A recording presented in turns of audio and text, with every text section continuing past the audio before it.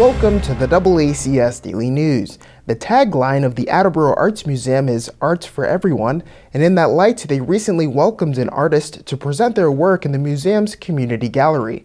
We spoke with the artist to learn more. Hi, I'm Ann-Marie Gillett. I am a Seekonk, Massachusetts resident, and I currently have work up in the Attleboro Art Museum's community gallery.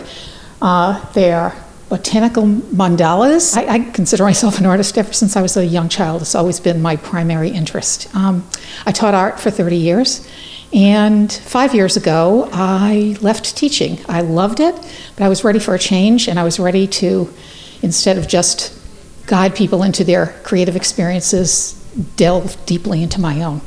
What better way to really be a little bit contemplative and a little meditative about what direction I wanted to take than to make a mandala. So um, I live on 12 acres of land. I'm very fortunate. They're just a continual source of inspiration for me. So when I began to do the mandalas, I wanted it to be a little more personal and reflect on really what most of my work is about. Almost all of it is related to nature in some form or another. So I did one, and I realized that I really enjoyed how I felt when I made it. And I really realized that just as when I walked around my 12 acres and I saw this sort of endless change um, that was continually happening through the seasons, through the, through the weather, um, all these sources of you know, shapes and colors, they, they started to be pulled into the mandalas. And I realized there was really no end to it.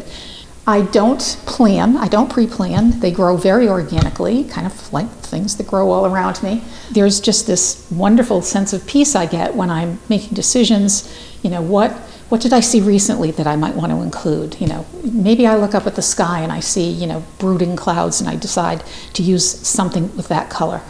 And I start in the middle and then they work out. The question a lot of people have is they think they're painted, and they're not painted. Um, I used to paint and would mask out areas with white artist tape, paint over it, and then peel the tape away. And as I worked, I would like sort of stick it on my on my leg. One day, I don't know what happened. It was a little. I just got this inspiration. I looked down at my leg and I thought, you know, there's some potential with all these beautiful little shapes and colors. Maybe I could use these. And I began a whole series. Um, in which I would then, as I worked on one surface, I would then take the pieces of tape and, and arrange them on another piece of paper. And then I started thinking that I think that they had even more potential, that I would methodically paint the tape strips so that I could have almost a palette, the way an artist would have a palette of paint. I would have a palette of painted strips. And so if you came into my studio right now, you would see hundreds of painted strips of tape different colors, different gradations, different textures. I now use those, and I, I, use, I use scissors, very tiny scissors. I will peel off what I need, cut, and apply to whatever surface I'm working on. So if you come up close to the mandalas, you realize, oh, they're not painted after all, they're actually collaged on. So after I put them on, I then seal them with several coats of um, varnish, and so they're very durable and they last a long time.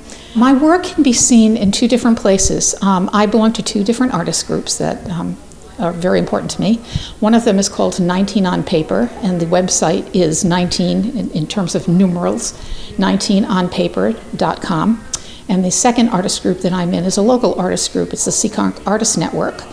And that website is seekonkartistnetwork.com. And if you go to both of those, um, you can see sort of the full array of my work. That's it for today's update. You can watch all of our content by visiting our website, AACS.com, by downloading the AACS mobile app, or if you have a Roku, you can search for the AACS Roku channel.